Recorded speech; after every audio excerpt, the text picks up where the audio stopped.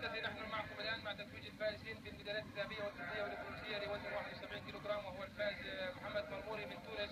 خامس أولمبياد اتلانتا هو الفائز بالميدالية الذهبية بكل جدارة واستحقاق وهو خامس العالم وبطل إفريقيا. بينما الميدالية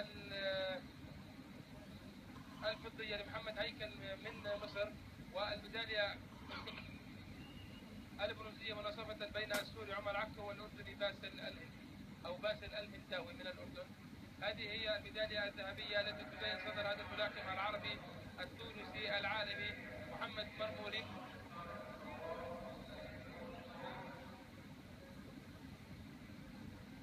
بينما